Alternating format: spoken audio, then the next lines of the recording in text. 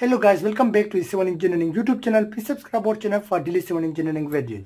Today our lecture is about the shear force and bending moment diagram. In this lecture, we are going to find out the support reaction for this beam and to draw the shear force and bending moment diagram for this beam. This beam has two pointed load of 3 kN and one uniformly distributed load of 4 kN per meter over the hanging portion of the beam and this is distributed over the length of 6 meter. So this is a simply supported part of the beam and this is overhanging portion of the beam. So we are going to find out the shear uh, support reactions and to draw the shear force and bending moment diagram. And also these length are given for this beam.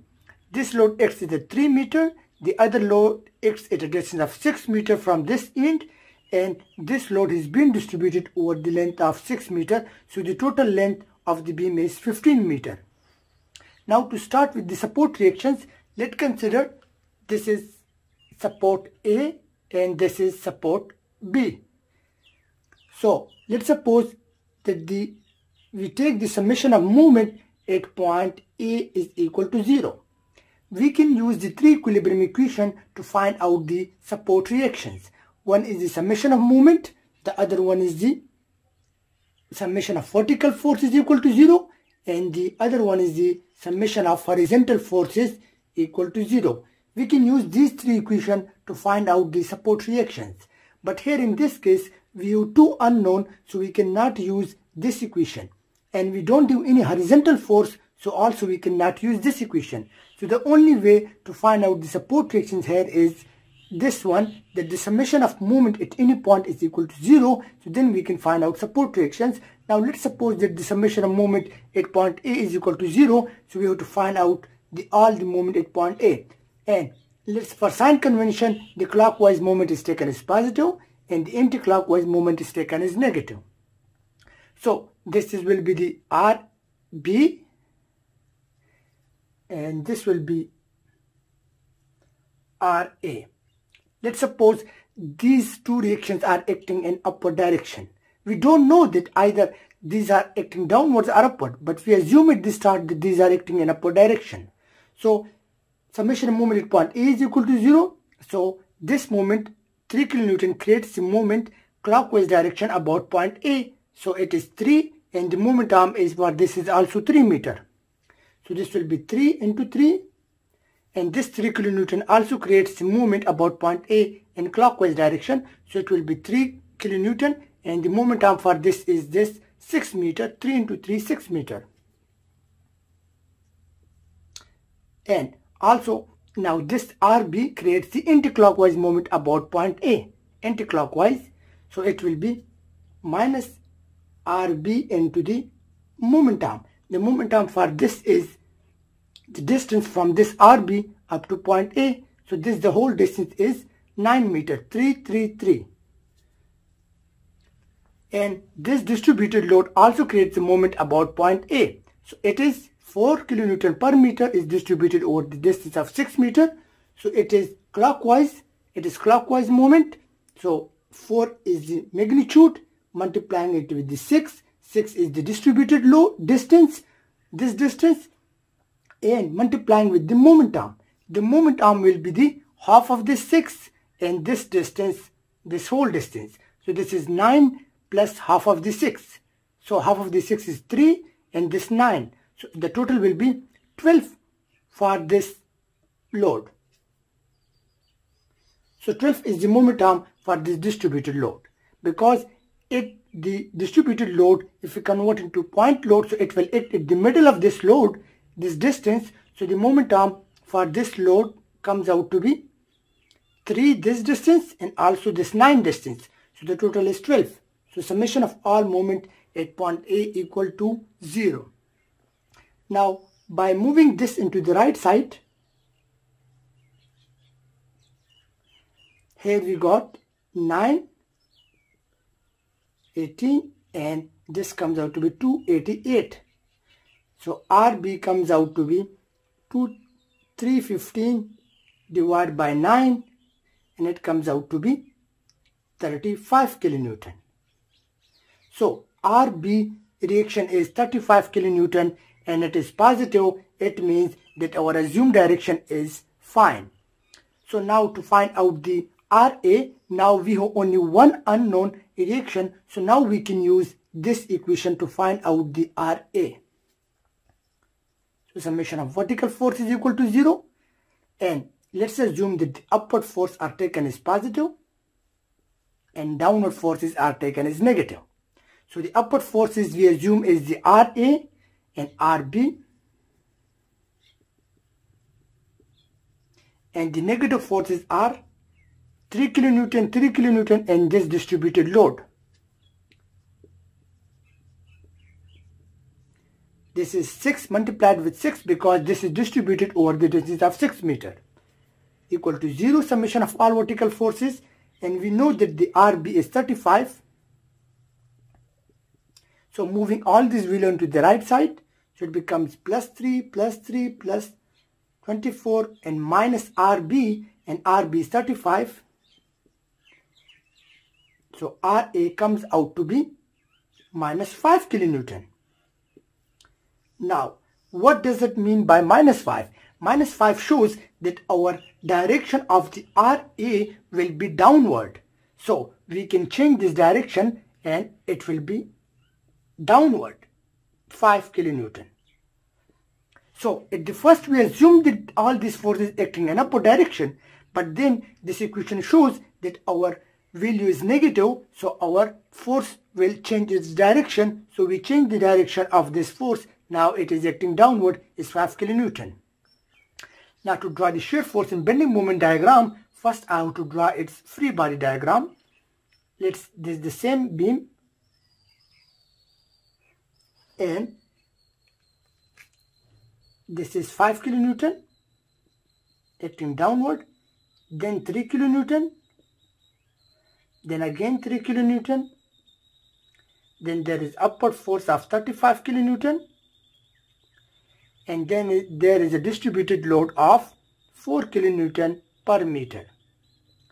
And also we know the distance this is 3 meter, this distance is 3 meter, similarly this is also 3 meter, this is also 3 meter and this distance is 6 meter here.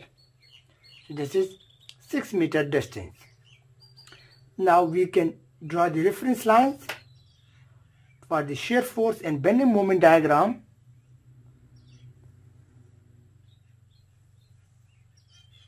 this will be for the shear force. And this will be for the bending moment. So this is for the shear force diagram in the unit of kilonewton. And this in the bending moment diagram in the unit of kilonewton meter. So these are the reference line. Now we can draw the shear force and bending moment diagram. Let's suppose these are the 0, 0 reference and also for the bending moment these are the 0, 0 reference lines. Now we know that this load is acting downward 5 kilonewton so it will be negative minus 5. Here is minus 5. This will be minus 5 here up to this point so it is minus 5 and then there is no load over the distance of 3 meter so no load means a straight line for the shear force and then there is a load of 3 kilonewton. So minus 5 and minus 3 will be minus 8. This is minus 8. Again there is no load over this distance. So again a straight line and then there is a downward force again of 3 kilonewton. So minus 8 and minus 3 will be minus 11. Again there is no load acting on this distance of 3 meter and then there is a load of 35 kilonewton acting in upward direction. So this is positive because it is acting in upward direction and this is negative 11. So minus 11 acting downward and plus 35 acting upward we get of plus 24. So plus 24 means that it is in upward direction of 24 here 24 because upward value above the zero line will be positive and the value below the line will be negative. So this is 24 kilonewton force.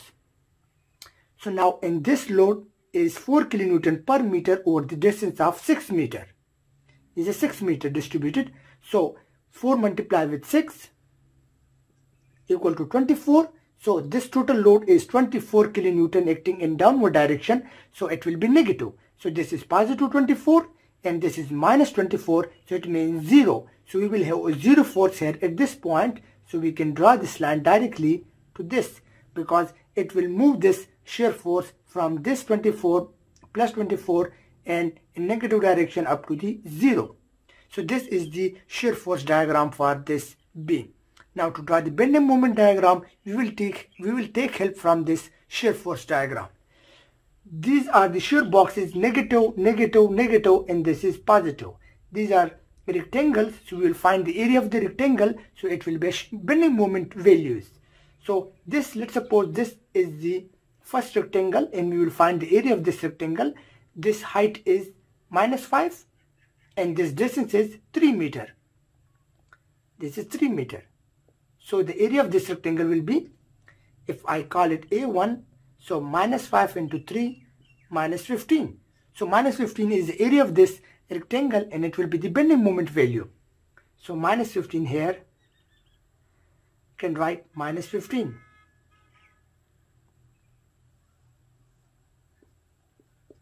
Now the area of this rectangle, 8 is the height and 3 is again the distance. So 8 into 3, 24 and it will be a 2 area. So minus 24 is the area of this box but it will be now added to this minus 15. So minus 15 will be added to this minus 24. So minus 24 we got minus 39. So here we will have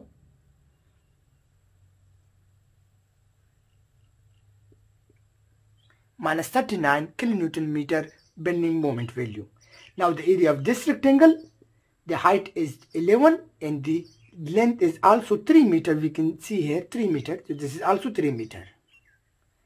So the area of the third box will be 11 into minus 3 minus 33. Now minus 33 will again be added to this minus 39.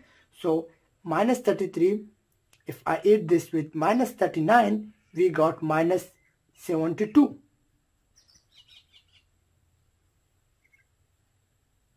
So it will be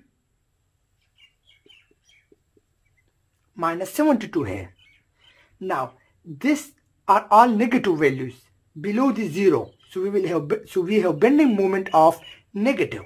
Now this shear force box is a positive box. So it will be added to this negative value. The area of this triangle, will, we will find the area of this triangle and it will be the bending moment diagram for this beam. So the area of this box is let's suppose A4 and the area of this box will be the half base into height because it is a triangle. So base is 6 meter is a 6 meter distance and height is 24 so half base into height means half base is 6 and height is 24 so it is it comes out to be 72 but it is positive 72 because it is acting upward this shear box. So minus 72 adding with plus 72 we got 0 so we will connect this with like in this way. Because minus 72 was this value and we got plus 72 for this box. So it is added to the minus 72 and we got 0 here value. So we simply draw this like in this way to make the bending moment 0. So this was the way how to draw the shear force in bending moment diagram. This line is a 2 degree line because this is a linear line of 1 degree so it is 2 degree line. Similarly this is a horizontal line of 0 degree so it is a 1 degree line. This is also a 0 degree line. So this is 1 degree line. This is also 0 degree line. So it is 1 degree line. The bending moment diagram is always 1 degree greater than the shear force diagram. Hope you guys understand and don't forget to subscribe our channel for daily civil engineering videos. Thank you for watching our video.